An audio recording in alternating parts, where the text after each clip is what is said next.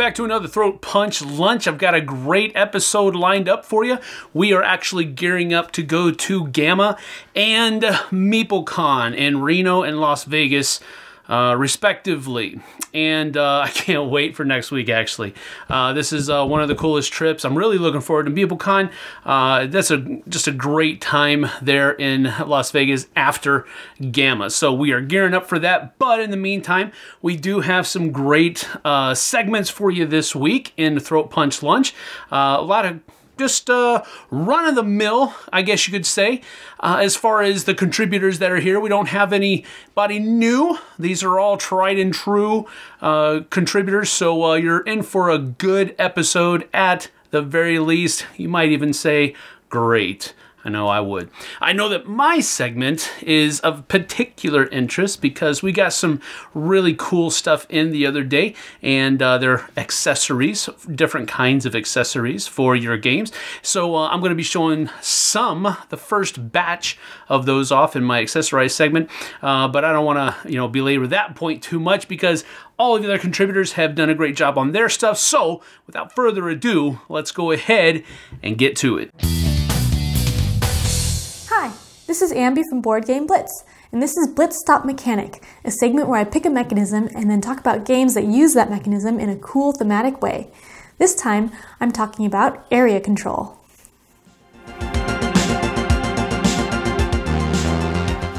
Area control is a mechanism where you get points for having the most units or something in an area.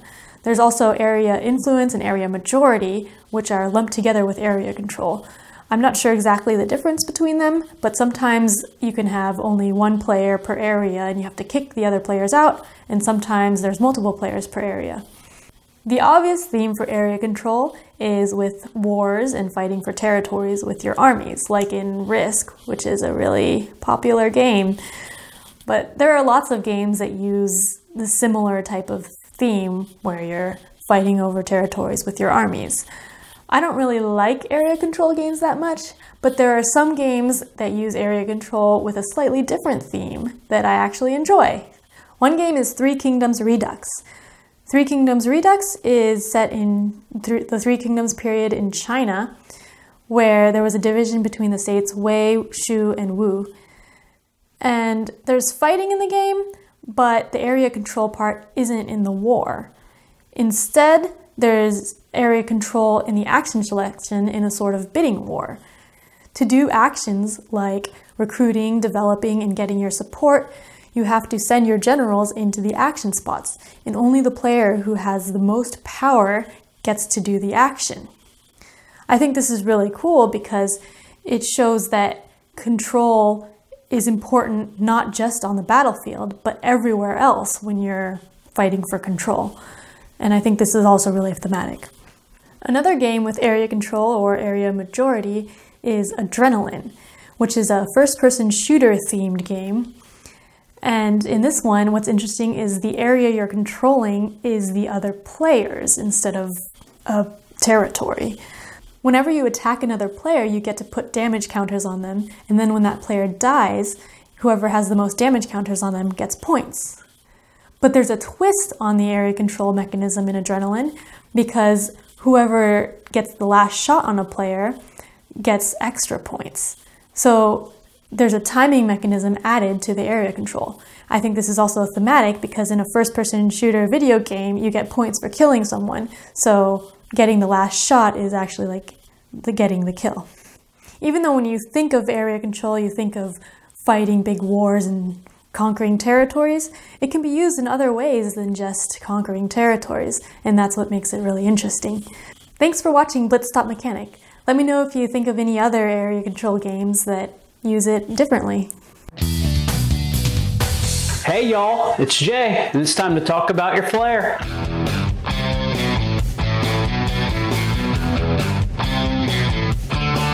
On 15 Pieces of Flair, I'm going to show you guys some ways to spruce up that game room. On all the various different Facebook groups that I'm part of, I'm always seeing board game developers posting pictures of their games they're making, components they've got going on, artwork in the game, etc., etc. And every once in a while, one of them will really just capture my attention.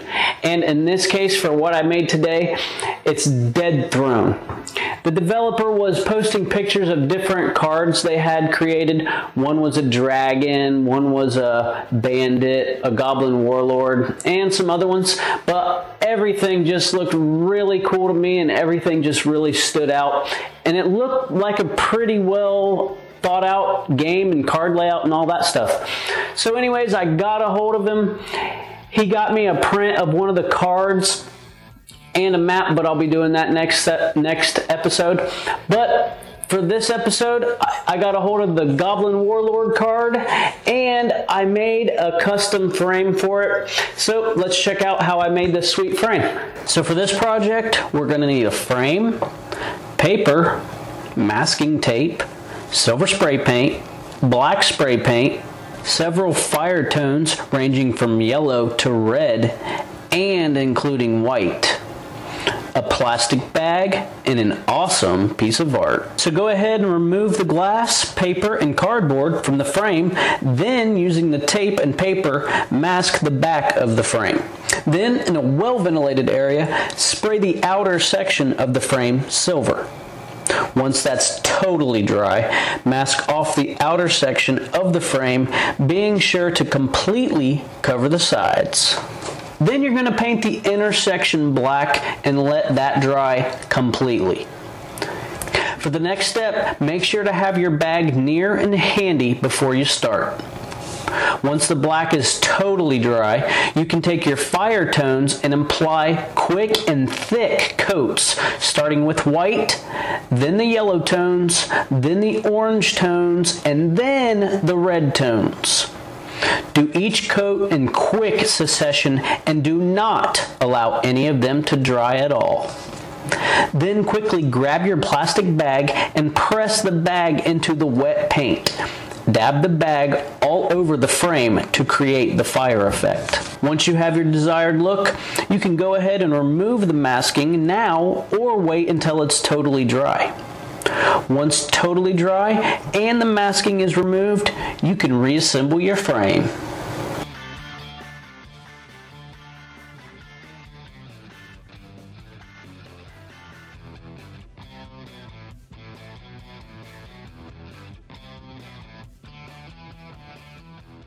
Boom! There you have it. A quick and easy way to add some flair to your game room.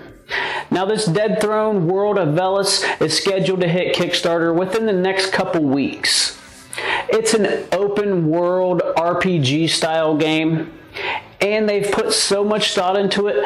Just the world alone has over 2,400 years of history. I think that's pretty cool that they put that much work into just the world alone. Now, this is only the first game in a series of many that they're creating for this world of Veles. So I'm excited to see everything that they that they end up coming out with. Now for the frame, I really like the way the silver and on the outside and the fire on the inside turned out. It's a pretty unique effect. I wish I would have done a better job masking up these corners, but I can fix that later. Hey, if any of you guys have any suggestions on games or ideas you'd like me to make into some flair, comments below. I read them every single time. Or you can go to my Facebook page, Pique Your Interest. Or Twitter or Instagram work too, at Half Handicapped. But don't forget, 15 pieces of flair is the bare minimum. Some people choose to do more, and we encourage that. Have fun, everybody.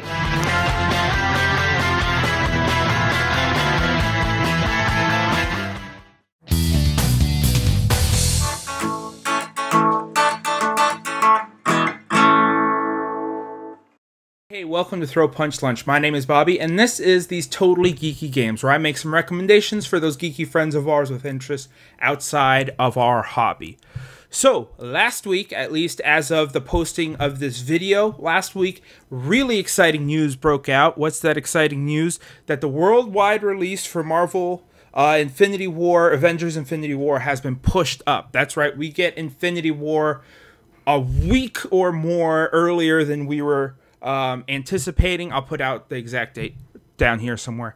But that's really exciting news for pretty much the whole world because let's admit it, pretty much everybody has become a Marvel fan. And if you yourself or any of your friends are Marvel fans, here are the games that I would recommend. Now, I'm not going to go through the whole game, but actually of recommending uh, Dice Masters, or if you can find an affordable copy of Marvel Heroes, going to pick that up, or even the um, X Men Mutant Revolution, which seems to be a game that only I like. Um, I'm not going to mention any of those. See what I did there? I'm only going to recommend one game, and that's Marvel Legendary. Marvel Legendary, a deck building adventure, I believe it's called, is like the greatest, awesomest uh, Marvel game out there. It's great if you're a comic book fan. If it's great if you're just a fan of the movies. It's great if you're just a fan because on Saturday morning you watch Spider Man or you watched uh, the X Men animated series. It's great for all of that because it has characters from all of those properties in this game. Now, if you're gonna get a bunch of these characters, um, you might as well pick up the base set and some expansions, right? If expansions aren't really the thing for you, I totally understand, but at least for this game, I picked up quite a few expansions. I'm not going to divulge how much I did pick up, but here's a quick kind of buyer's guide recommended recommendation list, at least in my opinion, of some of the cool expansions to pick up. One, I think you should pick up the Marvel Legendary Villains expansion. Even if playing the bad guys isn't really your thing, this kind of completes the game, and from then on, every expansion that you would get from Marvel Legendary is compatible with the game. Marvel Legendary Villains expansion is great, but what about another big box expansion that really ramps up the game? Uh, I would pick up Marvel Legendary Dark City. Marvel Legendary Dark City is actually the first expansion that I picked up when I picked up my copy of Marvel Legendary, and so for now, that expansion and that base set really coalesces into one game for me. It's hard for me to separate it, but I did list out the cards that are available in both sets, and Marvel Legendary Dark City is really a great expansion. Um, by the way, at this point, if you've picked up both these expansions, you have more than enough cards, believe me. However, if you do want maybe one more big box expansion, um, I would go somewhere between the Civil War expansion or the legendary X Men expansion. Now, because I grew up an X Men fan, I picked up the Marvel Legendary X Men expansion and I enjoy it greatly. Um, I'm really excited about it. And I'm still excited about it. I picked it up like last year and I'm still really excited about it. So, that's the big box expansions I would pick up. I'm not going to divulge whether that's the only ones I have or not. But what about some little box expansions? What are some little box expansions where you could pick up? Um, well, Fantastic Four expansion, at least for the majority of the time that I've been playing Legendary, was um, out of stock everywhere. It was out of print, but now it's recently just come back into print. If you're watching this video much later and that's not really relevant information for you anymore, I'm sorry, but I do believe that currently it is still available in mass market retail, as well as the Guardians of the Galaxy small box expansion.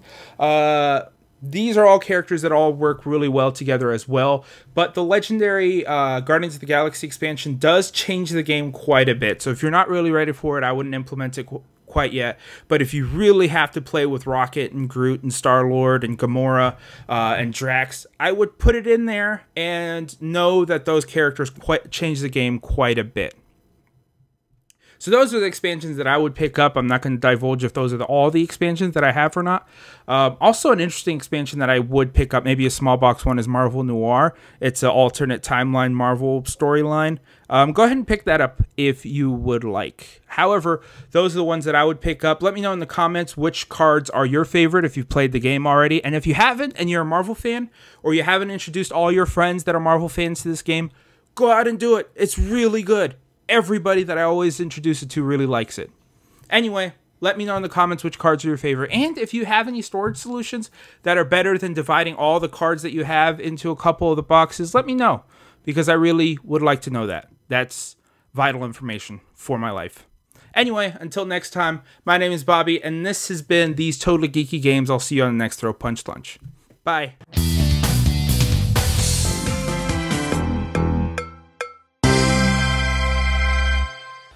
Welcome to Games Beyond the Board. It's a segment where we talk about games that are language independent or have very little language dependence. I've always been fascinated about Asia Middle East, and I've been many times to the Hindu continent. So needless to say, I was very excited when Hutch decided to release Rajas of the Ganges. which is a game published by R&R Game and Hutch, and it's for two to four players and have a very unique scoring mechanic to win the game, which I really enjoyed.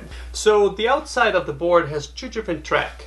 The money track, which runs counterclockwise, and then the fame track, the yellow track that runs clockwise. In order to win the game, both your money and your fame has to overlap each other or meet each other. Once the, the two tokens get to meet or surpass each other, you trigger the end uh, round of the game. Now, in case of two players get to accomplish that, whoever is further apart wins the game. Although you have a money track on the board, your main resource are dice. At first glance at the board, it seems very busy and seems there's a lot of going on in there. And it does, but in a good way. It's uh, not overwhelming as it looks. Uh, everything is well separated, and each area is quite easy to get familiar after a couple rounds. As I said on the bottom of the board is where you acquire dice.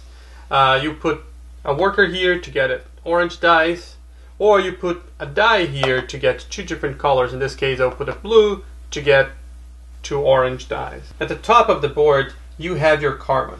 And what it does, you can pay one karma in order to flip your dice to the opposite direction. So 4 to a 3 or a 3 to a 4 and so forth. And the, be- the more karma you have, the more times you can take these actions. On the opposite side, you have the building area where during the game you'll be able to upgrade your building so you can score more points at your market. At the quarry is where you're going to acquire tiles. So you place your worker on one of the spots here and then pay the amount of money that is shown there. So I would pay one money, and then I use my dice to buy uh, tiles. So I'll put this over here and take the six tile, and then we'll place on my board. When I visit the market, I generate income from that market. So I can put a worker over here and generate an income from three different markets. You would, if you have more than one of that market, you just choose the highest one, and then you take one from each one. Uh, whatever income that specific market will give you. The top area of the market, you would place your worker there, and then you would have to give up one of your die. Let's say I would give up my six die, and then I would generate income for that specific market multiplied by the die that I gave up. So at the harbor, you would place your worker in there and give a one, two, or three die and take the amount of movement that's showing on each one of those spots uh, the first one is free, but if I had another player in there, I would just have to pay one money, pay the die, and then move my boat. When you visit the palace, you can take different actions by giving gifts to the noble, which will be represented by a different number of die. So if I do a die number one here, I'll take the first player token and will move my track two on the fame track. You also get a bonus on the money track when you stand or pass the 12 mark on the money track. So the first bonus is going to be the river bonus. So you can you get to move one space on the river track. Then you flip it over, and on the next time you pass the 33, you get two dice, and then you flip it over, and so forth. Rajas of the Ganges is a really fun game. It's probably one of the best work placements I've played since last year. Uh, it proves that you don't need to have a light game to be language independent. You can have a nice complex with a lot of rules and still be very uh, language independent. And that's it for me today. I hope to see you guys next time on Beyond the Board. Have you ever wondered what games you should keep or you should lose? Find out here at Purge Reviews. Welcome to Purge Reviews, where we take two games, keep one, and get one out of here. Today we're going to be looking at photosynthesis versus topiary. And what you're going to have here is two games that will be taking, where you'll be placing things on the board, but looking at the height of them and deciding which one will score you the most points. In photosynthesis, you're looking at more of an economic game where you're looking at the economy of the sunlight, where your trees that you build will be able to garner sunlight by the placement of the sun that moves around the board. And as you have these sunlight points, you'll be able to spin those to put seeds or grow your trees or cut down your trees and score points. In topiary, you have a 5 by 5 grid where you'll be placing a meeple on the board, and then you can exchange one of the tiles to score you points. In photosynthesis, you have this whole push and pull about whether you want to keep your trees up and blocking other people, or if you want to maximize your points by cutting them down now and getting the most amount of points. Because every time you cut down a tree, it's worth less and less. In topiary, you have this abstract scoring system that will be utilized based on the placement of the topiaries throughout the tiles and what your meeples can see. Photosynthesis really gels with the theme more. You have the 3D components that look fantastic on the board. And when you're growing a tree, it gets bigger. And you can visually see that. And you can see the sun move around. In Topiary, it really feels like you're just playing tiles. It feels a lot more abstract. Why are you scoring these and why are you doing this doesn't make a lot of sense thematically. I feel like Topiary gives you the better decision. So during the game, you'll be placing these meeples, and you can't place it where somebody already has been. So there's a little bit of blockage in that. But you'll be deciding when you pick up these face down tiles with your hand which one you want to place and how you will score the most points, and sometimes no decision is your best decision. The problem I have with photosynthesis is you only have so much light. There's only so much you can do. And you need to get those trees up to the four in order to cut them down to score the points. So I feel like getting those trees built up as quickly as possible is the strategy to go, and cutting them down would be one way to score points. But if you cut them down, you're no longer getting as much light. So there's a push and pull to kind of cut them down towards the end of the game when things are settling down rather than earlier the game. And I feel like that became a set strategy for our group. Both games have a lot of player interaction in the form of blocking each other. In Topiary, you'll be blocking people in the view that they want and putting out the topiaries to block them from scoring. But I feel like in photosynthesis, it's a lot more cutthroat. You're going to be placing trees, leaving them up just to block people. You can see the rotation of the sun, and blocking people is a large portion of this game. At least when we play, I felt like blocking people was almost as important as what I was doing on my turn. Beyond a shadow of the doubt, I feel like photosynthesis is the more cutthroat game of the two. If you like that kind of gameplay, then you may steer yourself towards photosynthesis. Although Topiary also has it, I feel like you have more options to kind of minimize that cutthroat nature of the game. Overall, I feel like Topiary is the better game. We'll go ahead and get rid of photosynthesis right now. Boom. Because I don't feel like it can stand up to Topiary. Although I know photosynthesis is a very popular game, a lot of people like it. For my taste, it just didn't have the strategic decisions that I wanted.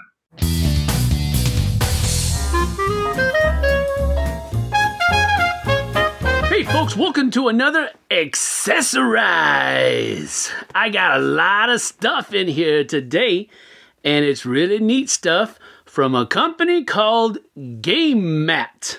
They're based in Prague in the Czech Republic, and they sent a whole lot of really neat stuff. So I'm going to show you a little bit of it today, and then we'll get to the rest in the future. Let's get to it! So this is going to be kind of like one of those boring unboxing videos that Tom does, where uh, we just kind of open all these guys up, take a peek, and then go from there. Let's see what we have here. Ooh, styrofoam. Maybe I should explain a little bit about what this is. Game Mats does, uh, it's a website where they have pre-painted terrain. Now, of course, you see all of the different um, oh, it's making a mess. And so this is a temple. As you can see, it has all of these angels all over it. And uh, these little, I don't know what those are called, made out of gold or something, with some, you know, the steps. And this is all the styrofoam stuff. But anyway, really neat looking temple. So uh, this is a pretty neat thing. I like this. It's uh, heavy duty. Um, it's definitely not lightweight. Of course, I wouldn't be privy to dropping it from any uh, given height on any kind of hard surface. But as you can tell, it is good work, good detail, and it'll look pretty cool once we get some miniatures playing around on it. Now these, if I'm not mistaken, are the 4x4 double-sided mat. And so you have this on one side where it is like a road with grass and that type of stuff. And this is the neoprene. And then on the other side, you have this grassy battlefield kind of setting. So of course 4x4 is not going to fit perfectly on this table, but there you get kind of a good idea of what the mat looks like. I'm going to zoom in just a little bit so you can see a little bit more of the detail that goes into the mat itself. So it's pretty cool looking. I like it a lot. So you can see the detail that's there. So these really look good. I'm very happy with the quality. Let's get a different one out. And here we have the quarantine side of this mat. And this one is, again, it's one of those things that's pretty neat looking. And again, this is just a, a drop off because it doesn't fit inside the table that I'm using to uh, lay this out on. But as you can see, it looks pretty neat. And this is, uh, again, they're 4x4 double-sided mat. This is the quarantine side. And then this is the Badlands side. So it's kind of just a rocky terrain that uh, can be used for a number of different kinds of miniatures games or as a background for whatever game that you're playing. So uh, it's really neat. And then this one is the Highlands in War side of the, the next battle map that is in here. And as you can see, it's just a really detailed, um, worn battle side area. It looks really neat, very detailed. And then this one is the Winter Realm. This is very similar to the one we already saw, the Forgotten Realm one that had a road and a lot of grassy uh, parts on it. But this one is, of course, the winter version of that same battle map. And finally, the last mat that was in this box is a double-sided mat for the Fallout Zone, which is what you're seeing here. And again, this is just the curvature of the table here the fallout zone. So there's a lot of bomb craters and debris and that kind of stuff. And then on this side we have the Imperial base. Uh, and so this is kind of a, uh, I guess you could say a sci-fi setting. Uh, could be used maybe for other things as well, but I definitely see it as a sci-fi type of board. And I think it's pretty cool as well. Very high quality. Well, there you have it. Just a little tidbit of the stuff that GameMat.eu sent us uh, to use for Dice Tower purposes. We're going to be doing some reviews of them and that type of thing as well, showing them off, giving you an idea of what they look like, how they feel, uh, how it is to use them, and all that kind of stuff. That's for later on in the future. I was just really excited because all this stuff came in today. And so I was just kind of frothing at the mouth to try to get this stuff open. So really, that's about it. You can go check them out at www.gamemat.eu. And uh, like I said, they are based in Prague, Czech Republic. Uh, but they do have different portals uh, on their website for the different uh, countries that you'll be shopping from. So uh, it'll change the prices for you. You won't have to do any conversions or anything like that. That's one thing that I did really think was pretty cool. There's no guesswork involved. So that's about it for Accessorize this time. Let's get back to the rest of your lunch. Hey everyone, this is Tim Jennette the Metal Meeple, and this is the Budget Board Game Breakdown.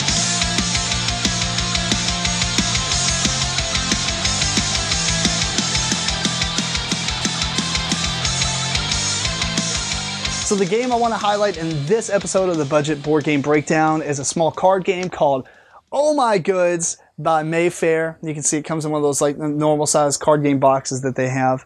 Um, the game pretty much comes with a ton of cards and then a rule book. But there's even more than this set off to the side. And the game's pretty simple. You start off with a production building. Everybody starts off with the same one, but it requires different resources and it's going to produce one gold of uh, coal for every card on it. We start with seven coal on it, and then each player gets a worker, and this worker could be used in two different ways. Now, what's going to happen is everyone's going through the game kind of at the same time. The first thing is the sunrise, and you can see the cards are used in multiple ways. During the sunrise set, we're going to use just the resource here. Otherwise, you can use it as the full card, or the third way is you can place it face down as a resource on top of a building. So we're going to flip over until we have two of these half suns. And then those are the resources that are also available to you in addition to the ones in your hand. Now we know we need two brick and a wood. There's only one brick and a wood. We have another one in our hand though. So we're going to build what's called efficiently. Efficiently means you're going to produce two resources onto that card. Otherwise, you can build sloppily, but it, it negatives, it negates one of the resources required. So we'd only need one brick and one wood or two brick and no wood. In this case, we're going to build efficiently because we know it's going to, we're going to have the brick to do so. In addition to that, you're also going to choose a card to go face down if you want to build it as a second building. Then each player is going to wait for the next round of cards to come out during the sunset. And we keep flipping until we have, there's one sun, there's two suns. And then in this part, everybody takes turn order. So starting with us, we've got a brick, we've got a wood. We're going to spin a brick from our hand. This one's actually discarded. The others and the, the resource, the sunrise, sunset, stay there for other players. And then we're going to produce efficiently two cards on top of our building. In addition to that, we're going to be able to chain. This one chains with wood. We could take any wood from our hand and place it on here, but we don't have any. Lastly, we would build our building. This would cost us eight. Since this coal is worth one apiece, we would discard eight off the top of this deck. And that would be our turn. The next player would go. And this would continue. We would do this all over again until one player has built eight buildings worth of buildings. And then each player gets resource or money for uh, resource money, victory points for the shields that are on each building. And that's pretty much the game. The game is pretty simple. It's a it's a very you know you churn out buildings, you churn out resources, and you do it over and over and over again. The game's about 30 to 40 minutes, depending on how many players you have. And overall, I think it's a really fun game. Uh, the only real concern that I have, and other people have too, is that sometimes you can, depending on the cards you get, you can just spearhead eight cards, you know, eight buildings. You can only build one around, but you can keep building the really cheap ones and then finish the game a lot sooner than other players can build the heavier buildings. Fortunately, though, in the dozen or so times I've played this, that's not really as big of a, concern. Maybe if you're playing with really highly competitive people, that might become more of a, a prevalent thing to worry about. But overall, I think the game is pretty balanced and it works out just fine just playing it casually or a little bit more than casually. The game does have an expansion. Uh, the expansion I haven't played, but I do own. It has like this little five part mini like story thing that you go through and you can play it single player and stuff. So I'm looking forward to that. But I think this is a great game. I, I really enjoy it. I mean, it's something that's real small. And I really like games where the uh, cards can be used in multiple ways. This one you can use as a building, or you can use it as a resource, or even just the face down on top of stuff. It just it such a smaller deck of cards can be used in so many different ways, and I really enjoy games that do that. Second thing about this game I also like is the game progresses all the players at the same time. You know, everybody's going through that sunset, everybody's going through that sunrise, uh, well, in the other order. But, you know, I'm saying it's kind of, and then, then you have that player turn order. It doesn't seem like one person's taking that much longer on their turn. So, really enjoy this game. Uh, if you know of any other games that kind of play like this, let me know in the comments below. If you have any questions, let me know in the comments below. Or you can email me at timjennette at gmail.com. Follow me on social media. Check out my podcast, Meeple Core. And until next time, keep on rocking and rolling dice. Hey everyone, welcome back to another episode of the Cardboard Herald's Rook and Record here on Throat Punch Lunch. And today we are talking about records. Well, I mean, every episode of this we talk about records, but in particular, we're talking about why records today. Because I get that question now and then what do I like so much about records? And I listen to music on all types of media forms, but there's something admittingly cool about records, and, and maybe it's the physicality of it, and the collectability is something that I really enjoy too. But I think it goes a little bit deeper than that. It's a it's a sentimentality, a, a connection to our past. You see, what's cool about records is they carry marks of every time that they've been played, every time they've been laid out on a turntable and appreciated by people hungry for new music. Well, that's a needle scratching on it, wearing it down. Those hisses and pops, they're like old friends coming to visit, whether they're put there by me listening to them or by unknown strangers who have owned the records in the past. And that's really cool and something that I think that you could appreciate is true of some board games too. You see, board games, when done right, get a lot of play. And sometimes that means that they're going to get a little bit of wear. And this copy of Seven Wonders has been loved more than any other game that I own. The point is, is I kind of dig this copy of Seven Wonders because of all the marks of all the amazing games that have been played with it. What's cool about Seven Wonders is that even though it's been over seven years at this point since this game came out, nothing's really toppled it. Nothing has really outdone Seven Wonders. It is still iconic, it's approachable, it's interesting, it's complex, but it's also just simple and elegant. And that's true of another type of wonder. And it may seem really obvious, but I'm going with another record that has been put through its paces, probably listened to more than any other record in my collection, and that's Stevie Wonder's Songs in the Key of Life. Unequivocally, this is a masterpiece, a double disc album that has so many songs that are ingrained into the American songbook at this point that even if you've never heard them before, you will recognize how they have been referenced throughout pop music history for 40 freaking years, and it still hasn't been outdone. This is an incredibly audacious, ambitious album on Stevie's part where he wanted to explore his creative limits and he put himself through the paces in order to come up with something that's expressive and complex, deep and rich, yet still so incredibly approachable in a beautiful, catchy pop shell. Now I know you're telling me, why are you having me listen to this funk rock R&B soul album while I'm playing my game set in historic antiquity? And I promise you, it makes sense. Not only is there like a cyclical groove to this album that feels appropriately thematic and also tonal in nature as you're shifting all these cards around, but also Stevie pulls on all kinds of types of music, going as far back as classical music to integrate in sophisticated and complex ways. So, just like Seven Wonders, it's approachable, it's fun, it's catchy, but it is also deceptively deep and incredibly brilliant, and yet at the same time, so unmistakably obvious, yet still has not been paralleled. And that is why Stevie Wonder's Songs in the Key of Life is the perfect record for you to listen to while loving on your copy of Seven Wonders. What did you guys think of our pick?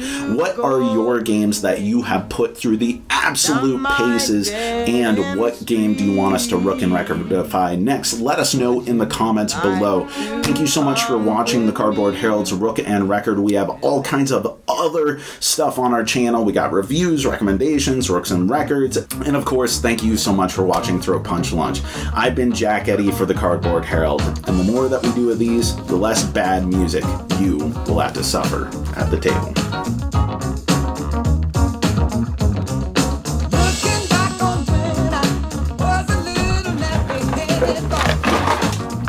I got a card hanging out of this thing right now.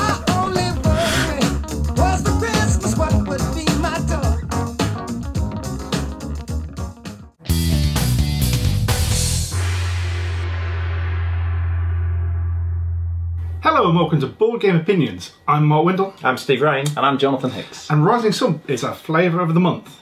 So, Rising Sun, in many ways, is like a standard area control game. You've got dudes on the map and they're all fighting and stuff like that.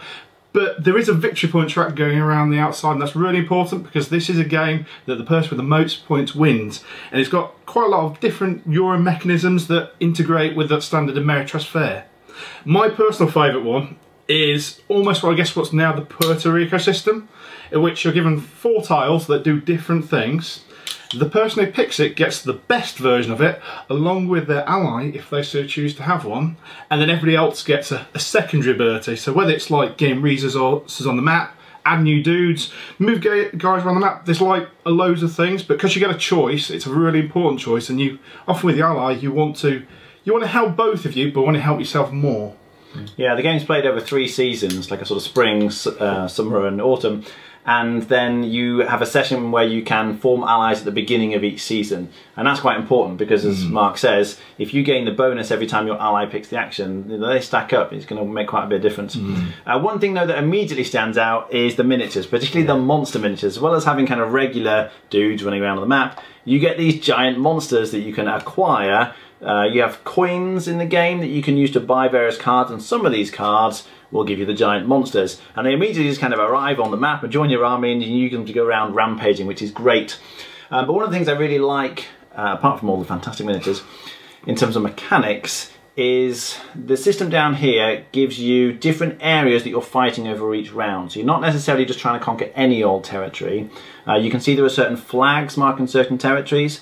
Only the territories with the flags, which are summarized down here, are the ones that are going to um, give you points effectively if you win them. You're trying to win as many different territories as you go through the entire course of the game as possible. If you win the same territory round after round after round, it doesn't really get you very much. You get a lot of points for getting a range of different territories, which is great because it means if you've just won a territory, there's no real incentive to stay there. So people are constantly moving around the map trying to grab other territories. So it feels very dynamic, and I really like that about it. Yeah, and the order in which the territories trigger is different. The, tr- the territories don't trigger when someone kind of moves into another place. If blue moves into a place where there's red troops, they don't fight. They fight at the end of the season, and they fight in the order. So this one fight first. That's number one. Then number two and number three. So you can kind of plan your resources accordingly based on which fight you think the better you're best going to win. Do I want to put all my resources into number one, knowing if I do don't do very well, there I might struggle to win other ones. Mm. And the way you do that is with coins. So coins are used for buying cards and building strongholds, and any leftover coins you have are used for fighting. So effectively in this game, what I really like about the game is that you don't need the most troops to win the fight. Uh, or at least you don't need the most troops to benefit from being in a fight. You can do other things. So you can, you do it in an order, so you do this and this and this and this. And what happens is each person secretly behind their screen puts some coins on these cards, and the person who puts the most coins in each individual section gets to do it. One of them is commit hara-kiri, effectively you kill yourself off for victory points and you increase your honour. One of them is to take hostages. So if you think the other person's going to beat you in troops, if you take some of that guy's hostage before you actually get to the fighting bit, you actually beat them. You can recruit soldiers and you can kind of bid for points for the most figures dying. Um, you can't fight your ally, but you can contest regions really well using coins. That's the bit I really like about the game. Yeah, I like the um, this on the system sorts all ties, and there's a lot of ties, mm. so that's really important. It makes a big difference in the game. Yeah, there are various ways in which you can go up or down potentially on the honour track. So you might wonder why you want to kill your own troops, but you actually your honour increases quite a lot if you kill your own troops. It's a very honourable thing to do, and as you say, that breaks every tie in the game. Yeah. It is huge. A bit like Blood Rage, there are certain cards that allow different things to kind of combo together. So sometimes you might be able to get a card where you get more points for your guys dying. So killing your own guys is an even bigger incentive to do that, and you spread lots of little guys to try and join in every fight and try and get your guys killed every time. Um, so it gives you different strategies to do apart from just trying to build up the biggest army. Well, we've been Board Game Opinions, and this has been our flavour of the month.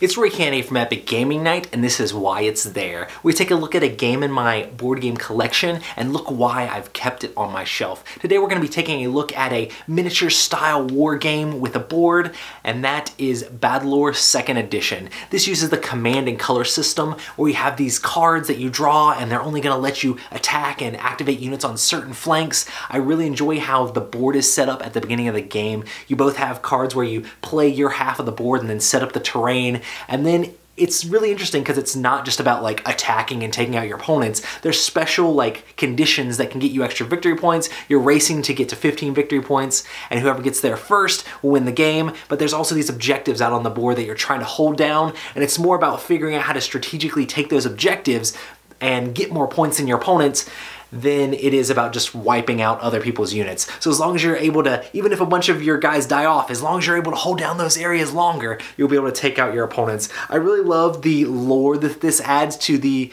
command and color system because it has all these lore cards and you have lore that you're gaining and you can spin that lore to be able to cast different lore cards that'll give you all sorts of abilities and sometimes they can help you catch up if you're behind or you can save it up and do some crazy combos on some of these cards which is really cool as well. I have spent a lot of time painting up the miniatures for this game and it's been a lot of fun. I really love that there's all sorts of different crazy fantasy monsters in this game. I really love the undead but I'll play any of the factions just because I love playing the, the, the Daqan where you get to do the cool little eagle guy that's flying around and then you have like the, the siege like ballista creature or you can play the Uthuk Y'llan where you have these crazy demon guys or I love the little beetle guy that comes as well. Um, there is lots of expansions for this game and it's pretty much out of print at this point, but it's a game that I love. You can find it really cheap some places. A lot of times people have had it on their Christmas sales and things like that, and I feel like the stock is getting sold off. It's crazy because it's such an amazing game. And um, I've definitely had a lot of fun. I made my own custom board so that we can play like Overlord, like epic style play. So we've played like like three on three with this game before where each person like one person would control the left and one person would control the center one person would control the right and you play this crazy gigantic epic game of battle lore. So we kind of like make up our own rules for that sort of thing but we pretty much follow the memoir 44 overlord system and kind of do it the same way. And just have tons of units out on the board for a gigantic epic game of battle lore. So i've had tons of fun playing this game and i wish there was more out there for it but the stuff that they have out for it already is a ton of fun to play and it's easy to teach and get people into. So Battle Lore 2nd Edition is definitely a game that I'm to keep on my shelf. Maybe someday I'll actually get all the miniatures painted, but nonetheless, I love Battle Lore 2nd Edition, so make sure to check it out.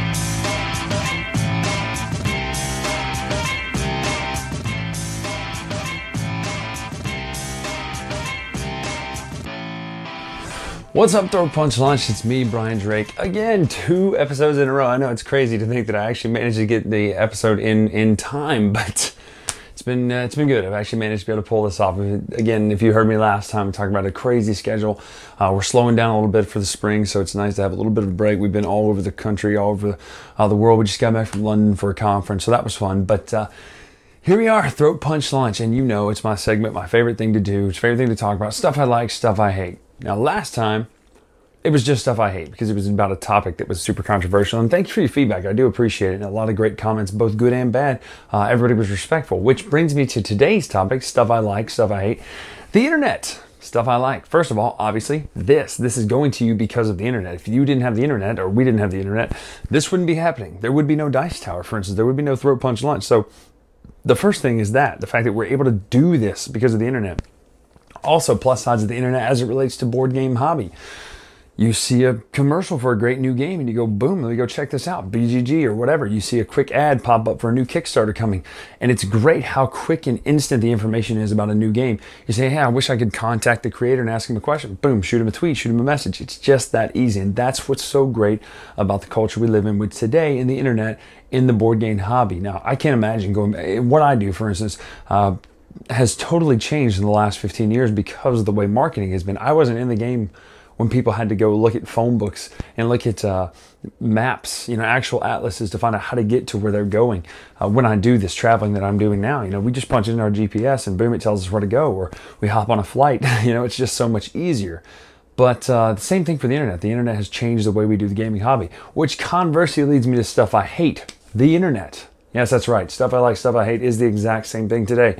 Because the internet allows anybody to make any kind of comment, which is fine. I'm all about freedom of speech. But without any kind of recourse, without any kind of uh, accountability.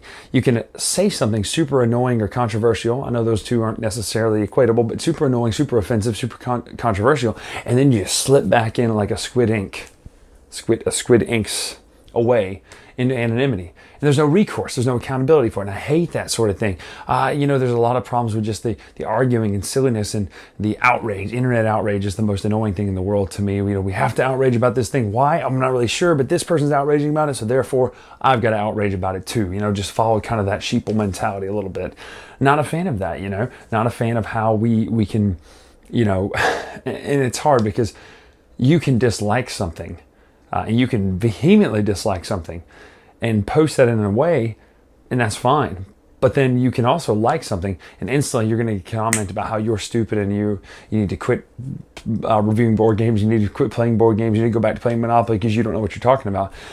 So there's a certain boldness that the internet has given us that is actually cowardice disguised as boldness. And so that's one of the things I hate about the internet when it comes to the board gaming hobby. So that's me, Bryan Drake, with stuff I like, stuff I hate. Check me out on Twitter at the latest retro and on the uh, Dice Tower for more reviews. Till then, we'll see you.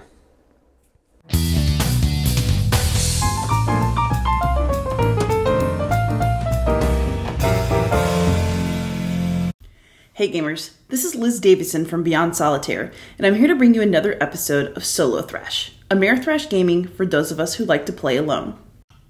For the past couple weeks, I've been dealing with the joys of having bronchitis. So, I don't know about you guys, but when I get sick, a lot of times it feels like my brain is active and wants to do stuff, but my body just cannot keep up. So, this week I want to talk to you guys about some easy solo games that you can kind of play on and off uh, or you know on a lap desk in your bed so that you can still get a little bit of gaming in while you are also ready to pass out and not fit to, p- to play with other people so for sick day gaming i'm obviously going to recommend games that don't have too many components and that can be played in sort of a contained area so one of the first comfort games i would recommend for a sick day is actually legacy of dragonholt i discussed this game a couple of weeks ago on solo thrash as part of a piece on storytelling games. And Legacy of Dragonholt is basically a text based choose your own adventure game from Fantasy Flight.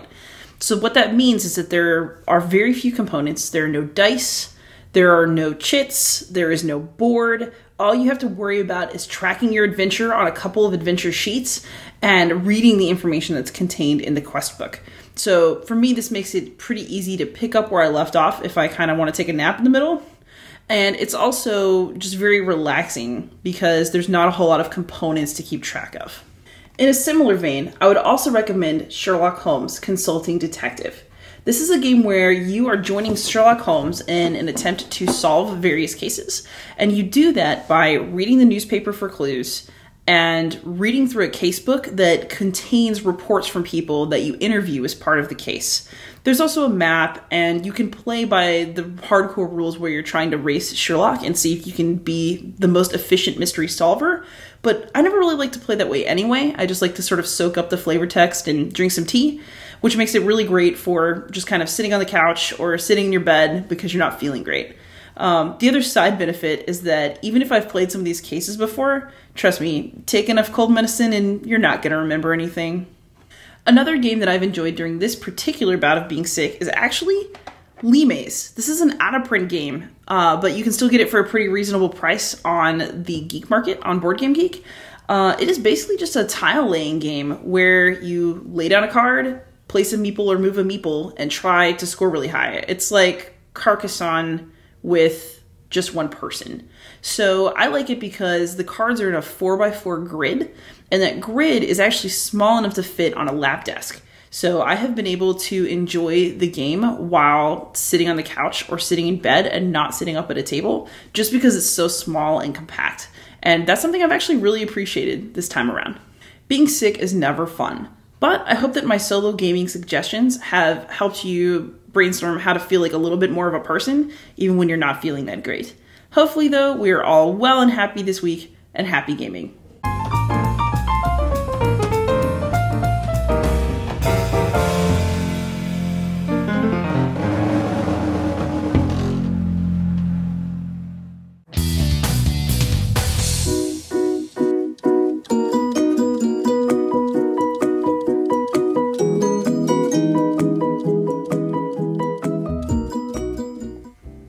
Everybody, Even Steven here. Last week I ran a promo contest and the winner of that contest was Jason Spiker. I'm going to get your mailing information and send those out to you, so I'll be in contact with you. This week, however, we're going to look at Meeple Plinko. I made a Plinko set out of meeples in a shadow box that I use for game day to choose what game we're going to play. So I'm going to show you how I make it and maybe what you can use it for. Let's get to it. Okay everybody, this is the finished Plinko set in which I have a tray in the back that allows me to send dice down so we get to pick the picker to pick the board game. So let me show you how this works and how it is made. The first thing you want to look at is the size of your shadow box. You can purchase these at craft stores. This one is 15 inches by 20 inches, but you might want a larger one for a large gaming convention, or you might want a smaller one depending on what your playgroup prefers. The shadow box has a indentation area in it so you can fit stuff in it, which works very well for a Plinko DIY. The next thing you need to do is cut a piece of foam board to leave a gap to allow the dice or whatever object, a ball that you're trying to get down there through the Plinko board. So this size can uh, vary depending on what you are sending down in your Plinko board. So you're going to cut that out And through these little hatches that slide over, they will keep your foam board in place. You also want to cut out a hole at the bottom to allow whatever it is that's going into your Plinko board to exit. I also came up with foam board and hot glued this on that allows different slots for different things and you can flip this up. This is just glued and has a piece of tape on the back to allow this to sit. And when I want to send something down in the Plinko board, I just lift it up and it goes right down in. The next step was gluing on the meeples. So I had hot glue and I just glued them on. I glued two on so that way the item that had to go down, in this case the dice, would have to go down the chute all the way to the bottom. Spread them out evenly, and once you organize them in any pattern that you want, usually the object will go down in a random pattern. Sometimes you might have to add things to the side to make sure it funnels it towards the middle goal. Another thing I added were these slots that are just pieces of foam board hot glued on that funnels it right down into the hole so that it goes out the back of the shadow box. I also created a funnel piece out of foam board that is the exit of the Plinko board. So when you send something in, whatever comes out the bottom comes right in the tray there and you can lift it out and see what it was. And that's Meeple Plinko. On the front, you could maybe use vinyl letters or stickers that you can apply, maybe put the name of your game group or the event that you're running. For our group, what we use it for is to choose who picks the next game. So we use a dice. Check my game group video for that. Otherwise, you could use this maybe for an event or charity or to pick to see what happens when it comes out, who comes out first. There are many different uses you could have for this, but I thought it was pretty neat that it's board game themed that we could use at events. So that's how you make Meeple Plinko. Okay guys, that's my Meeple Plinko set. I hope you found that cool and easy and maybe you can use it for your game day. Let me know in the comments below. What are some other cool uses of a Plinko board that you could use for game day? We'll see you next time guys.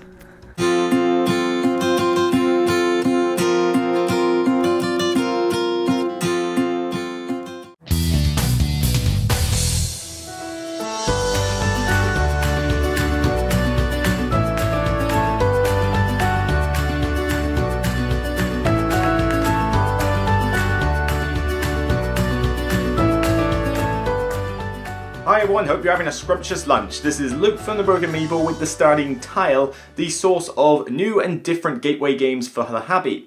Now, I'm gonna take that word new a little bit with quote unquotes this time round because we're gonna go back in time to 1994 when a game called Manhattan won the Spiel des Jahres.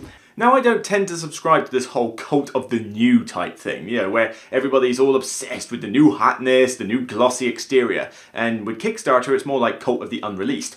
And I prefer to look at the older games now and again. Now, I'm not cult of the old, per se. Age does not dictate whether a game is good or not. But with this one, Manhattan, it is a classic gateway game, where you are building skyscrapers on these various cities on board in order to have the tallest tower, in order to have multiple towers, in order to have ownership of multiple cities. You are essentially choosing at the start of a round, and there are four rounds in the game, how many pieces of tower blocks you want to build. You've got tower blocks ranging from one, two, three, or four levels high. You pick these before the round starts, and then you have a hand of cards where you'll play a card and it has a grid reference, a sort of grid map on it, where with a highlighted square. And that means that in a particular city, you can place a tower block on that square. And the idea is, is that you can only place a tower block if it's an empty square, if it's one of your towers already, or if it makes, if you, you can place it on the opponent's towers if the amount of levels of your color you have is equal to or more than theirs. So tower blocks are constantly changing ownership. At the end of a round, there is a little bit of scoring where multiple towers will get you points, where having control of multiple cities will get you points, and just having the tallest tower will get you points. You rinse and repeat this for four rounds, and of course, the one at the end, let me guess, the most victory points. Of course! This is one of those games I can get behind that back in 1994 when it won, it deserved to win. Because this is about as clear-cut a gateway game as you can get. The rules, I kid you not, I literally got the game out, knew nothing about it really apart from rumours, read the rules, it's about two to three pages worth of rules, 10 minutes, I was gone. You know, literally already we're playing with four people. I didn't have to know anything or read it in advance. You can pick up this game and go. You see it at a board game cafe or somebody just gives you it as a demo copy. You don't have to worry about someone teaching you the game. No, just read the rules. literally will take you less than 10 minutes to read, absorb, and get on with the game. The whole glossy exterior of having vibrant colours on the board is appealing, as well as the translucent plastic towers, although it can be a little bit niggling to count how many levels are in a particular tower because it's not entirely clear on the tower block how high it is. You kind of have to look up close. So colorblind people, you might want to beware and stay away from this game. Turns are lightning fast, but you have tactical decisions about where you should place your tower blocks and which towers you should take control of, because you're going for majorities and you're going for height. And on top of that, the cards will, you have a hand of them, but you only have so many. So you have to think about which blocks you should aim for. And at the start of a round, when you're picking the blocks for each round, you're thinking, should I get rid of my little ones first, or should I get rid of some of my bigger ones? You have more little than you have big, but you're gonna have to use them all eventually. So do you start early on the small ones, or do you leave that till later? Do you get some big ones out to have dominance, or do you run that risk of, oh well, I'll put a big one out and then somebody else just basically nicks the tower off me and has a tall tower. The one caveat I will mention is that this can be quite a mean cutthroat game. You are stealing towers from people left and right, you are stealing control, you are actively in each other's faces. So if you're not comfortable with mean games, you might want to steer clear. But we're not talking like Survive Escape from Atlantis level of meanness. There's just enough little cutthroat ability to hear the odd from another player but the game is lightning quick and even with four players can be done in less than 60 minutes. So the meanness is not really a massive hindrance because you, the game is over by the time anybody really holds a massive grudge. So Manhattan, cheap, quick, easy, a little bit of meanness, not too long, literally a pick up and play gateway level game. If you've never heard of this before because it was too old for when you came into the hobby and you want to get into something that's a bit more of a classic by today's standards, then check out Manhattan by Foxmind, newly released and definitely worth your time. That's it for me on the starting tile for this Throat Punch lunch. See you next time. Normal service has indeed resumed for the Broken Meeple. So I'll see you then. Take care and enjoy your lunch. So that's that for another episode of Throat Punch Lunch in the books written down. And so thanks so much for joining us. We do appreciate it. You guys are the reason why we do what we do. Of course, we enjoy it, but we also take great appreciation when somebody else uh, likes what we do as well. So we thank you for watching. I want to thank all my contributors for putting out the great work. Some of them at uh, their own personal um, health and expense. I'm looking at you, Liz. Get some rest make sure that bronchitis is completely gone, and then uh, we'll welcome you back. But uh, I just, I just want to uh, give a shout out to her because she made a segment even after still getting over some of that bronchitis. So that's the level of determination that my contributors have, and I, that's why I'm so appreciative of it. So thank you to all of my contributors out there. Now, as far as those accessories I showed you, be on the lookout because we're going to be doing a lot of more different videos for them. They're going to be showing up in some of our live plays and all of that good stuff as well. So keep an eye out for those uh, cool little things. And hey, thanks again for joining us. We're going to go ahead and get out of here. See you in a couple weeks on the flip side.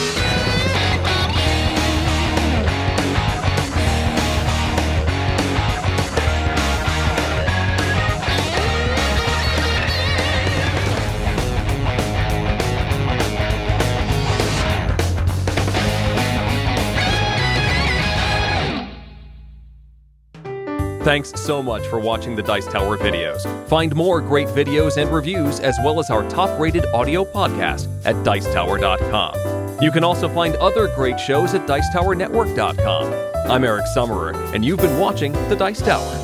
The Dice Tower is sponsored by Cool Stuff Inc., where you can find great games for great prices. Cool stuff in stock. Check them out at CoolStuffInc.com.